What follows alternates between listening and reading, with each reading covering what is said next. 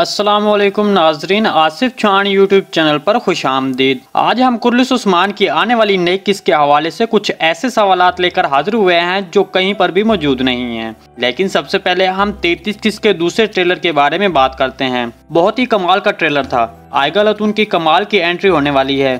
جیسا کہ ہم سب نے دیکھا کہ وہ پہلے سیزن کی بانسبت دوسرے سیزن کے پہلے سین میں ہی کتنی تیز لگ رہی ہیں۔ مطلب کتنی تیزی سے اس نے بازنطینی سپاہیوں کو موت کے گھاٹ اتارا ہے۔ آپ آئیگل اتون کو ایسے انداز میں دیکھ کر کتنے خوش ہوئے ہیں، آپ نے ہمیں کومنٹ سیکشن میں ضرور بتانا ہے۔ لیکن یہاں پر سب سے اہم بات کہ سیلجان اتون کے ہاتھ میں جو بچہ ہے، وہ کس کا ہے؟ دوستو، اگر آپ کو یاد ہو تو ہم نے اس کے بارے میں آپ کو دوسرے سیزن کے شروع ہونے سے پہلے ہی بتا دیا تھا کہ آئیگا لتون کی انٹری کروائی جائے گی اور اس کے ساتھ اس کا بیٹا بھی ہوگا جو کہ عالی شار وے سے ہوگا۔ تو اس طرح ہمارے پہلے کی طرح ایک اور پریڈکشن بھی سچ ثابت ہوئی۔ جی ہاں سیلجان اتون کے ہاتھ میں جو بچہ ہے، آئیگا لتون کا ہو سکتا ہے۔ دوسری طرف گہاتو کے بیٹے موکے کو ایک قیدی کے طور پر قبیلے گہاتو کے پاس لایا جاتا ہے۔ اس پر بابسی بے گہاتو کو کہتا ہے کہ اس کو یہاں ایک قیدی کے طور پر لایا جائے گا، کیونکہ وہ اس کا مستحق ہے۔ آگے عثمان بے گہاتو کو مخاطب کر کے کہتا ہے، ہم اسے اکتیس مرتبہ پکڑ سکتے ہیں۔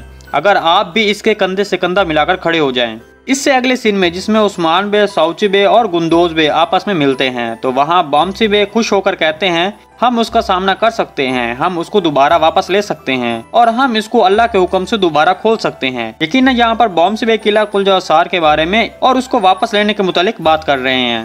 لیکن یہاں پر ایک اور سوال بھی سامنے آتا ہے کہ عثمان بے، سوچے بے اور گندوز بے کس بات پر اتنے خوش ہوتے ہیں؟ اس کے بارے میں آپ نے ہمیں کومنٹ سیکشن میں اپنی رائے کا اظہار ضرور کرنا ہے اور اس کے بارے میں ہم آپ کو جواب آنے والی ویڈیو میں بتائیں گے۔ اس کے علاوہ آج کا ایک اور سوال کہ تاریخ میں عثمان غازی کے کتنے بیٹے اور بیٹیاں تھیں؟ کیا عثمان غازی کی پہلی بیوی بالا اتون سے بھی کوئی اولاد تھی؟